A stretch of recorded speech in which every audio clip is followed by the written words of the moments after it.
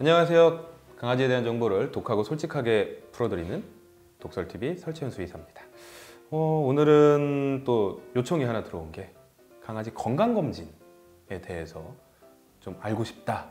언제부터 해야 되고 어떻게 해야 되는지 알고 싶다라고 말씀을 그 질문을 주셨는데 사실 이 건강검진은 사람과 똑같아요. 너무 항목이 많고요. 뭘 어떻게 해야 하는지에 대해서 저도 강아지의 상태를 알지 못하고서는 말씀드리기가 되게 어려워요. 그래도 가장 기본적인 거를 한번 말씀드리면 강아지 건강검진 언제부터 해야 되냐? 네, 어렸을 때부터 하면 좋죠. 사람이랑 똑같습니다.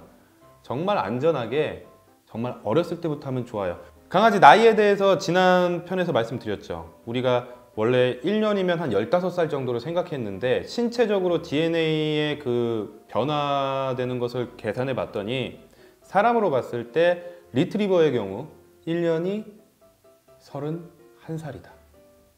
그러니까 이제 강아지들 같은 경우에는 사실 사람처럼 검진을 한다라고 하면 한 살이 31살이니까 한 살 때부터 시작을 해야 되고 그리고 그 뒤로 한 1년이 3, 4년 정도는 되니까 6개월에 한 번씩 해야 되는데 아 이렇게 하면 너무 사실 부담도 돼요. 보험에서 해주는 것도 아니기 때문에 어, 건강검진 제대로 하면 사실 꽤 많은 돈이 깨지게 되거든요.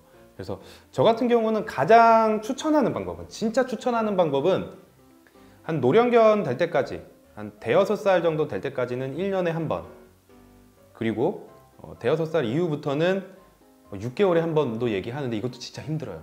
그러니까 그냥 쭉 한 1년에 한 번이고 노령견 때는 정말 걱정이 된다면 6개월에 한 번씩을 해주면 베스트겠죠. 강아지들의 노화 속도는 사람보다 더 빠르니까. 그리고 건강검진이 중요한 이유 중에 하나는 강아지들은 아파도 말을 안 해요. 우린 조금이라도 아프면 여기 여기 생채기 하나만 나도 막 엄마 아파 막 이러고 막 어, 아파 막 이러는데 강아지들은 그렇지 않아요. 최대한 참으려고 해요. 그래서 증상이 나타나고 병원에 왔을 때는 이미 늦은 경우들이 상당히 많죠. 뭐 신장도 그렇고 어, 신장 같은 경우에는 증상 나타나서 왔을 때 벌써 6, 70%가 망가진 경우들이 대부분이기 때문에 음, 건강검진을 하지 않고서는 이 나빠지는 것을 확인하기가 쉽지가 않아요. 그래서 최대한 조금 신경을 써주시는 게 좋아요. 그리고 미리 찾아내는 게 치료비가 훨씬 더 덜 들기 때문에 건강검진을 해주시는 게 좋고요. 건강검진의 항목 같은 경우는 사람과 상당히 유사합니다. 기본적으로 수의사들의 유관 검사가 있겠죠. 유관과 촉진 검사.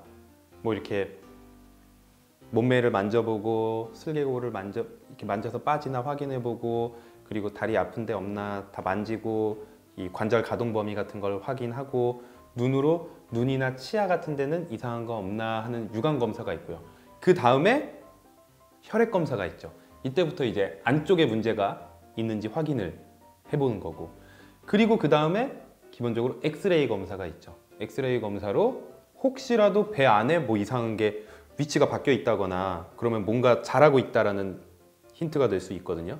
어, 없어야 될 부분이 있다거나 이런 것들을 확인한 엑스레이 검사가 있고 요즘은 그래도 꼭 추천하고 싶은 건 초음파. 네. 초음파 검사까지는 기본적으로 조금 추천을 드립니다.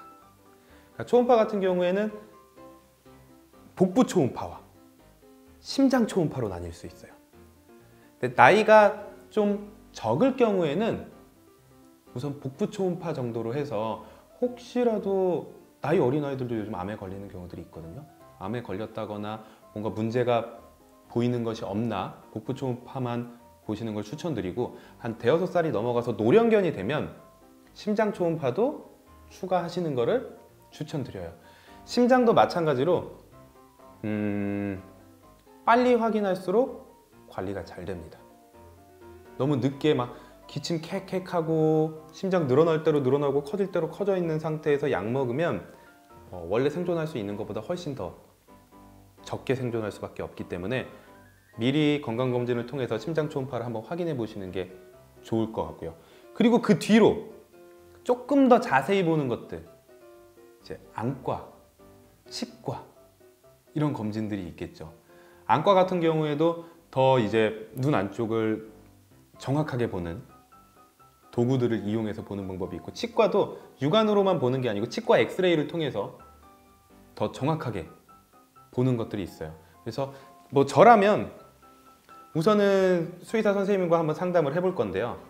노령견이 되기 전까지는 아까 말씀드렸던 기본적인 건강 검진을 기초로 할 것 같아요. 혈액 검사, 엑스레이, 초음파 이거를 가장 기본으로 한 네다섯 살 때까지 보고요. 근데 이 도중에 수의사 선생님이 봤을 때 어, 이빨이 조금 문제가 있는 것 같으니까 조금 더 볼게요. 눈에 문제가 있는 것 같으니까 조금 더 볼게요. 라고 하면 그걸 추가하시면 되고요. 대여섯 살이 넘어간다라고 한다면 사람과 마찬가지로 아까 기본적인 혈액 검사, 엑스레이, 초음파에다가 뭐 조금 더 넣어서 치과 엑스레이, 뭐 아니면 안과 검사 그리고 요즘은 이런 것도 있죠. 아 기본 검사 중에 하나 더 들어가는 게 요 검사가 있어요. 요 검사. 그래서 요 검사 같은 경우에는 우리가 가장 정확한 방법은 강아지들을 눕혀놓고 초음파로 방광을 확인한 다음에 주사기를 꽂아서 무균 상태에 겉으로 노출되지 않은 오줌을 뽑아서 검사를 하는 건데요. 어, 우리가 건강 사람 건강 검진할 때 이렇게 뉴스틱 이용하잖아요. 그걸로 먼저 한번 간단하게 검사를 해봐도 사람들 우리 학교 다닐 때 화장실 가서 친구들이랑 네, 부끄러워하면서 하던 거 있잖아요. 네, 그 검사랑 똑같이 어, 할 수 있으니까 그것도 한번 고려를 해보셔도 괜찮을 것 같습니다. 건강검진 비용에 대해서 많이 궁금해 하시는데요. 비용이 천차만별이라고 생각하실 수 있을 거예요. 그게 이 항목 때문에 그래요. 제가 말씀드린 뭐 혈액검사, 엑스레이, 초음파 이게 가장 이제 기본적으로 들어가는데 여기다가 뭐 심장사상충 검사도 할 수 있고 항체가 검사도 할 수 있고 이 항목을 어떻게 정하느냐에 따라서 10만 원에서 50만 원까지 될 수 있어요. 그래서 우리 시청자분들이 이 항목을 정확하게 물어보시고 어떤 걸 검사하고 가격이 어느 정도 되는지 아셔야지 더 정확한 검사를 할 수가 있고요. 그리고 뭐 사실 이 항목별로 보면 제가 수의사라서 말씀드리는 건데 병원마다 아주 크게 차이가 나지 않아요. 항목이 몇 개가 들어가느냐에 따라서 그래서 가끔 이제 과잉 진료나 이제 오해를 하시는 분들 뭐 실제로 솔직히 어딜 가나 저도 죄송하지만 그런 분들도 좀 있을 수 있습니다. 하지만 10만 원과 50만 원의 차이다. 건강검진 10만 원과 50만 원의 차이다 라고 보면 이건 분명히 항목의 차이가 있는 거예요. 그래서 괜히 어 10만 원 싸다 하고 갔는데 검사 제대로 못 할 수도 있고요. 그러니까 꼭 어떤 항목이 들어가고 어떤 항목 때문에 이 정도 가격이 나오는지를 확인을 해보시면 더 마음을 놓고 검사를 하실 수 있을 것 같고 병원별로 조금 어, 비교 한 두세 군데 연락해 보시면 제가 말씀하신 거 그대로 아실 거예요. 항목별로는 큰 차이가 가격의 차이가 없지만 항목의 개수에 따라서 차이가 많이 난다 라는 걸 아실 수 있을 거예요. 꼭 우리 아파도 참는 아이들 안 아픈 거라고 생각하지 마시고 건강 건강 검진을 통해서 우리 아이들 건강도 챙겨주시고 더 행복한 반려생활 하시길 바랍니다. 다음번에 더 좋은 재밌는 정보로 찾아뵙도록 하겠습니다. 안녕.